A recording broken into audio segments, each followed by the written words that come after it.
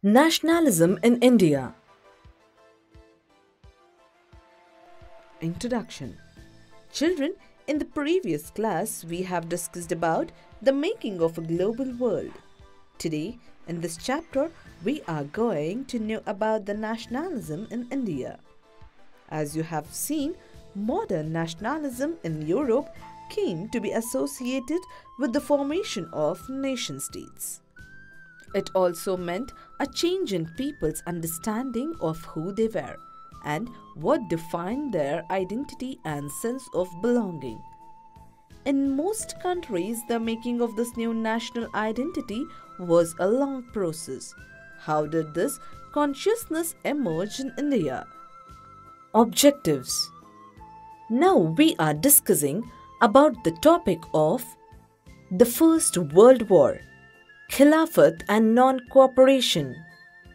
Differing strands within the movement. Towards civil disobedience. The limits of civil disobedience. The sense of collective belonging. Modern nationalism in Europe came to be associated with the formation of nation states. It also meant a change in people's understanding of who they were and what defined their identity and sense of belonging. In India, as in Vietnam and many other colonies, the growth of modern nationalism is intimately connected to the anti colonial movement. People began discovering their unity in the process of their struggle with colonialism. The Congress under Mahatma Gandhi tried to forge these groups together within one moment. But the unity did not emerge without conflict. The story from the 1920s and study the non cooperation and civil disobedience movements. The First World War, Khilafat, and non cooperation in the years after 1919, we see the national movement spreading to new areas, incorporating new social groups, and developing new modes of struggle. First of all, the war created a new economic and political situation. It led to a huge increase in defense expenditure, which was financed by war loans and increasing taxes. Custom duties were raised and income tax introduced. The war years prices increased, doubling between 1913 and 1918, leading to extreme hardship for the common people. Villages were called upon to supply soldiers, and the forced recruitment in rural areas caused widespread anger. The idea of satyagraha. Mahatma Gandhi returned to India in January 1915, which he called satyagraha. The idea of satyagraha emphasized the power of truth and the need to search for truth. It suggested that if the cause was true, if the struggle was against injustice, then physical force was not necessary to fight the obsessor. Without seeking vengeance or being aggressive, a satyagrahi could win the battle through non-violence. By this struggle, truth was bound to ultimately triumph. Mahatma Gandhi believed that this dharma of non-violence could unite all Indians. In 1916, he travelled to Champaran in Bihar to inspire the peasants to struggle against the oppressive plantation system. In 1918, Mahatma Gandhi went to Ahmedabad to organize a satyagraha movement amongst cotton mill workers. The Rowlatt Act emboldened with this success. Gandhiji in 1919 decided to launch a nationwide satyagraha against the proposed Rowlatt Act 1919. This act had been hurriedly passed through the Imperial Legislative Council, despite the united opposition of the Indian members. Mahatma Gandhi wanted non violent civil disobedience against such unjust laws, which would start with the Hartal on 6th April. On 13th April, the infamous Jallianwala Bagh incident took place. On that day, a large crowd gathered in the enclosed ground of Jallianwala Bagh. The news of Jallianwala Bagh spread. Crowds took to the streets in many North Indian towns. There were strikes, clashes with the police, and attacks on government buildings. Mahatma Gandhi now felt the need to launch a more broad based movement in India. But he was certain that no such movement could be organized without bringing the Hindus and Muslims closer together. The First World War had ended with the defeat of Ottoman Turkey, and there were rumors that a harsh peace treaty was going to be imposed on the Ottoman Emperor, the spiritual head of the Islamic world, the Caliphate. In March 1919, the Ali brothers, Muhammad Ali and Shaukat Ali, formed a Caliphate committee in Bombay to governor support for the Turkish Caliphate. Mahatma Gandhi realized that Caliphate would be the most favorable step to invite Muslims and Hindus for the common cause of a national movement. Therefore, he launched non-cooperation movement in support of Caliphate. Why non-cooperation? Hind Swaraj 1909 is a momentous work of the Gandhian ideology. In this book, Mahatma Gandhi throws light the ideas of non-cooperation and self-rule for the first time. Mahatma Gandhi, in his book Hind Swaraj, suggested that if Indians resolved not to cooperate, the British rule would get abolished. The fall of the British rule will pave the way for Swaraj of self-governance. Then, in case the government used repression a full civil disobedience campaign would be launched. Through the summer of 1920, Mahatma Gandhi and Shaukat Ali toured extensively, mobilizing popular support for the movement. The movement in the towns. The movement started with middle class participation in the cities. Thousands of students left government controlled schools and colleges headmasters and teachers resigned, and lawyers gave up their legal practices. The efforts of non cooperation on the economic front were more dramatic. Foreign goods were boycotted, liquor shops picketed, and foreign cloth burnt in huge bonfires. The import of foreign cloth halved between 1921 and 1922, its value dropping from rupees 102 crore to rupees 57 crore. Rebellion in the countryside. From the cities, the non cooperation movement spread to the countryside. It drew into its fold the struggles of peasants and tribals which were developing in different parts of India in the years after the war. In Awadh, peasants were led by Baba Ramachandra, a sannyasi who had earlier been to Fiji as an indentured laborer. The movement here was against talukdars and landlords who demanded from peasants exorbitantly high rents and a variety of other cases. The movement here was against Talukdars and landlords demanded from peasants exorbitantly high rents and a variety of other cases. Peasants had to do begar and work at landlords' farms without any payment. The peasant movement demanded reduction of revenue, abolition of begar and social boycott of oppressive landlords. In many places, night dhobi bands were organized by panchayats to deprive landlords of the services of even barbers and washermen. In the Gudem hills of Andhra Pradesh, for instance, a militant guerrilla movement spread in the early 1920s, not a form of struggle that the Congress could approve.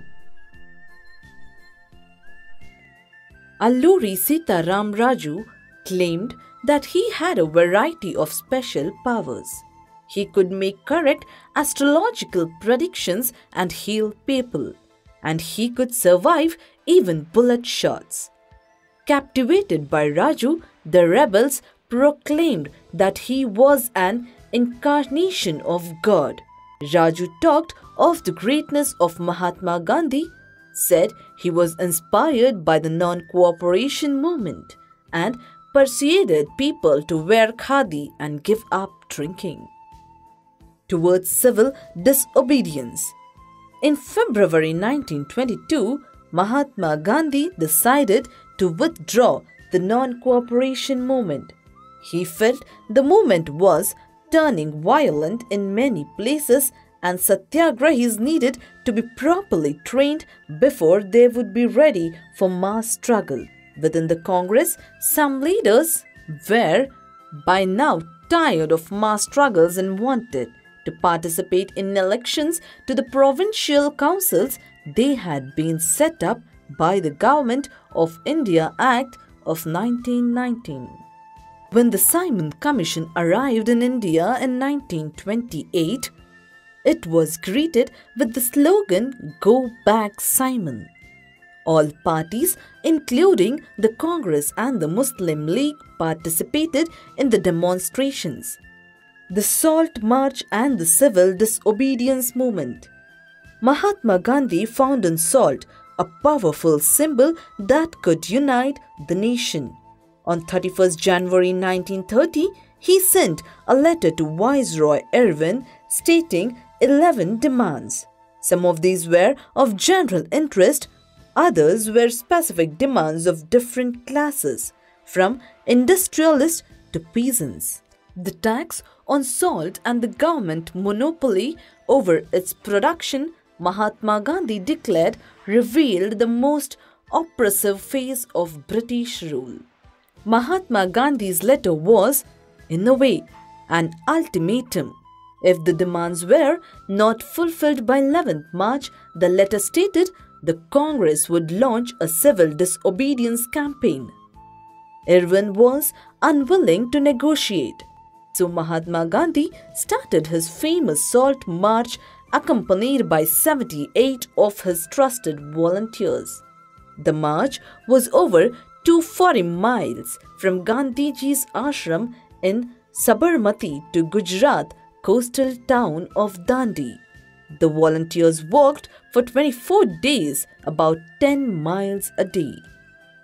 When Abdul Ghaffar Khan, a devout disciple of Mahatma Gandhi, was arrested in April 1930, angry crowds demonstrated in the streets of Peshawar, facing armored cars and police firing. Many were killed. In such a situation, Mahatma Gandhi once again decided to call off the movement and entered into a pact with Irwin on 5th March 1931. By this Gandhi Irwin Pact, Gandhiji consented to participate in a round table conference. The Congress had boycotted the first round table conference in London and the government agreed to release the political prisoners. In December 1931, Gandhiji went to London for the conference, but the negotiations broke down and he returned disappointed. To organize business interests, they formed the Indian Industrial and Commercial Congress in 1920 and the Federation of the Indian Chamber of the Commerce and Industries FICCI in 1927. Another important feature of the civil disobedience movement was the large-scale participation of women. During Gandhiji's Salt March, thousands of women came out their homes to listen to him. They participated in protest marches, manufactured salt, and picketed foreign clothes and liquor shops. Dr. B.R. Ambedkar, who organized the Dalits into the Depressed Classes Association in 1930, clashed with Mahatma Gandhi at the Second Roundtable Conference by demanding separate electorates for Dalits. When the British government considered Ambedkar's demand, Gandhiji began a fast unto death. He believed that separate electorates for Dalits would slow down the process of their integration into society. Ambedkar ultimately accepted Gandhiji's position and the result was the Pune Pact of September 1932. After the decline of the non-cooperation Khilafat movement, a large section of Muslims felt alienated from the Congress. From the mid 1920s, the Congress came to be more visibly associated with openly Hindu religious nationalist groups like the Hindu Mahasabha. Muhammad Ali Jinnah, one of the leaders of the Muslim League, was willing to give up the demand for separate electorates if Muslims were assured reserved seats in the Central Assembly and representation in proportion to population in the Muslim dominated provinces, Bengal and Punjab. When the civil disobedience movements started, there was thus an atmosphere of suspicious and distrust between communities. Alienated from the Congress, large section of Muslims could not respond to the call for a united struggle. Nationalism spreads when people begin to believe that they are all part of the same nation, when they discover some unity that binds them together. The united struggles for independence helped in building the sense of collective belonging. The identity of the nation is most often symbolized in a figure or image with which people can identify the nation. The image of Bharat Mata was the pictorial representation of the motherland, Vande Mataram. The national song was written by Bankim Chandra Chattopadhyaya in 1870s. The national flag, which we see today, has evolved through various stages. A tricolor, red, green and yellow, was used during the Swadeshi movement. There were eight lotuses on it, which depicted the eight provinces of British India. There was a crescent moon and sun on the flag, which represented Hindus and Muslims. Gandhiji has designed the Swaraj flag by 1921. It was also a tricolor, red, green and white, and there was a spinning wheel in the center. These nationalist histories urged the readers to take pride in India's great achievements in the past and struggle to change the miserable conditions of life under British rule. Conclusion A growing anger against the colonial government was thus bringing together various groups and classes of Indians into a common struggle for freedom in the first half of the 20th century. The leadership of Mahatma Gandhi tried to channel people's grievances into organized movements for independence. The Congress continuously attempted to resolve differences and ensure that the demands of one group did not alienate another.